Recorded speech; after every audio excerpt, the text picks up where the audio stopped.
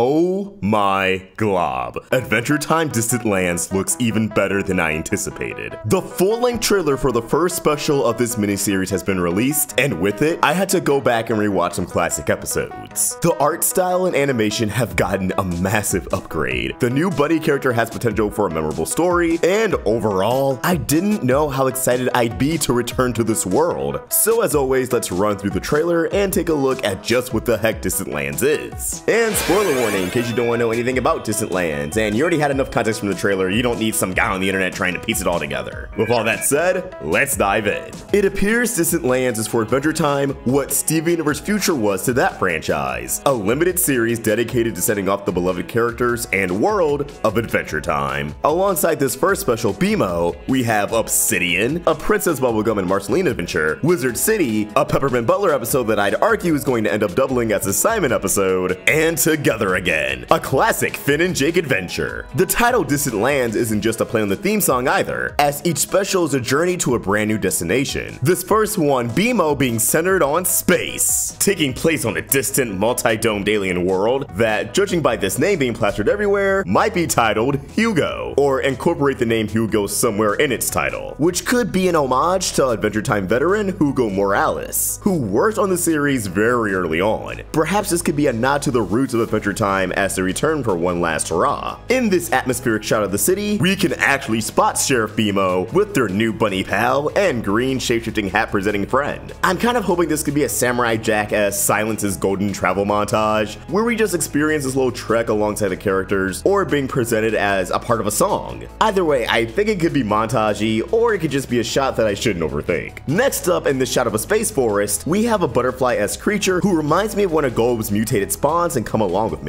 Considering the shape of the eyes and the tail and mouth, I doubt this is coincidental, but rather a possible connection or hint at Golb's fate, after Betty fused with Golb in the original series finale. After all, her wish was to keep Simon safe. This is the only special we know is explicitly set in space, so perhaps we can get an answer here on what exactly happened to them, as I imagine being millions of miles away in space qualifies as keeping Simon safe. And it could be the reason as to why BMO was brought to this alien planet. After all, BMO did figure out Golb's big weakness through singing, though I'd argue that this special in one way or another is going to tie back BMO's creator, Moe, whom BMO launched into space at the end of Come Along With Me. We have two distinct species at a standoff, the more generic Martian crossed with vampire on the offense to one side, with a shielded, armor, almost bug-like species on the defense occupying the other side. And at the top center, we can spot our bunny friend hanging upside down, and from what I'm seeing, it looks like they're speaking into a communication device, so I imagine they're spying in on the 10 and potentially gathering intel. This takes us to one shot of a long-haired pale alien, who I assume is high-ranking with that hairdo, and another shot of a red alien with a distinct fin, revealing a load of green objects all over his back, which I'm assuming are more or less grenades. Bunny's cover is assumably blown, as they're seen hopping away from danger, having both species pursue them when BMO suddenly crash lands into the surface. Judging by the crying red alien and the WTF expressions on the others, I assume BMO's arrival came at some unexpected bloodshed that BMO ironically overlooked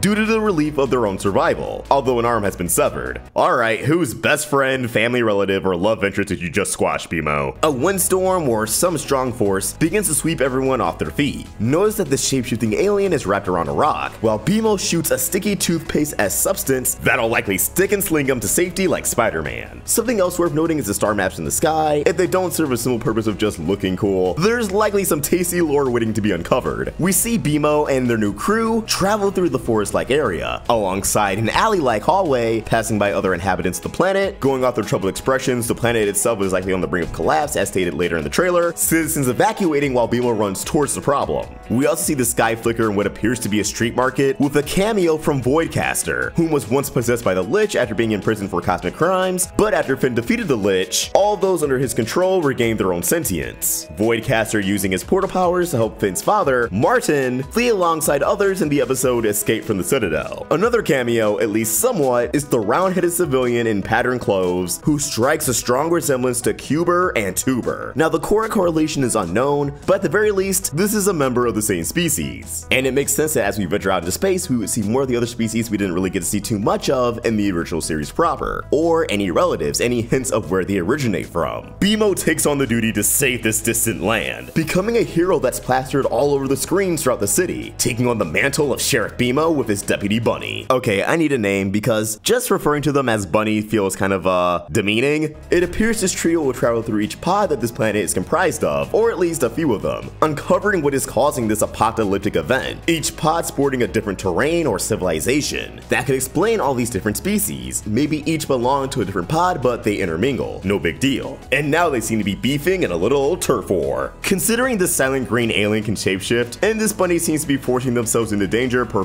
Encouragement, alongside interactions with as BMO rushing towards the screaming, but the bunny remarking, that's not what I do. It's not hard to believe that BMO sees Finn and Jake in these two. And going off the synopsis of Together again, it's going to be a while since Finn and Jake have been on an adventure. The last time likely being when they banded together with the rest of Ooo to banish Golb. You guys remember when they were gonna like fight a war and that was a fake out, but we had all those cool one-off characters return? I remember. Still, BMO misses their friends, so they project onto these two new strangers. However, BMO is going to have to accept change and not forcing other people to be someone they aren't. Gravity is falling as the planet begins to collapse. BMO makes contact with a dangerous acidic green substance, and we get a look at what appears to be the bunny's family, or at least members of the same species, but I'd be very surprised if there's no relation considering they're the same color, and we see different colored bunnies later on in the trailer. Not only do they appear to live underground, a play on the old rabbit hole trope, and on that note, please subscribe to my own rabbit hole, more videos coming soon I promise, but I wonder if they'll have an opposition to the whole adventure angle that makes up Adventure Adventure time, creating complications with people's vision of the perfect save the world adventure and team. Bun has to chop something inside a blue glowing dome, BMO finds himself caught between their hands stuck underneath a door, and being pulled by what I assume is going to be one of those Golb-like creatures, perhaps tentacle branches, we shall see. I assume BMO's new adventure buddies are on the other side of the door, pulling BMO to safety. Fireworks are lit under asses, BMO rides on his new companion towards adventure, we have another snippet of BMO's arrival, seemingly ceasing tension between the two alien species from the beginning of the trailer as they all begin to cheer in unison, likely fire it up with a plan to save their own home planet, or at least a plan they believe BMO has. Bah, come on, we all know BMO, they're gonna wing it. And after a few more ambiguous shots, we have a close-up of Bunny out of breath and clearly distressed. Again, this could tie back into the whole BMO trying to force traders to be someone they're not angle, if that comes to fruition. They're overwhelmed, out of their element, and here comes BMO encouraging this person to be more like Finn and Jake when they don't even know who that is. And if this plot point does come to pass, it'd be a great way for Distant Lands to begin with a BMO adventure that also sets up the final special by constantly alluding towards Finn and Jake, yet we don't get those sweet boys return until the very end. Ah, we won't see Finn and Jake in this glorious new revamped style until 2021, unless they make a cameo in one of the other specials, which I would also believe. There's a comical close-up of BMO screaming, complete with eye whites. I'm assuming this is either a tribute sequence from either like the middle or climax, or just a scene of BMO's crash landing. We also have BMO tinkering something inside of a structure, and including the trailer with them riding off into the sky on a space lord, a species which was first introduced in the episode Astral Plane. All the space lore is coming in full force. And yeah, if you look here, we get a look at all the alien races we've seen throughout the trailer. So again, we can assume one pod belongs to these weird bug, fish, red, alien-like creatures, then the Martian vampires as I call them, and another pod likely features the bunnies. But whatever the case may be, whatever supernatural occurrence is disturbing the planet, which again, I'm pretty sure will tie into something from the original series, whether it be Golb or Moe, I can't wait to see how it's all resolved. But as always, these are just my thoughts and I want to hear yours. What do you think? How do you feel about Adventure Time Distant Lands? And this BMO special in particular? Let us know your thoughts in the comments below or tweet your thoughts at RoundTableVids. And for more of my own thoughts, you can find me at Usher Thoughts. And if you want to stay in the loop with all new Distant Lands and even a full-length breakdown for when it comes out, I'm rewatching the entire series in preparation, please be sure to subscribe with the notification bell on. And if you enjoyed this video, please throw it a like. Thank you for watching and I hope you have an awesome day.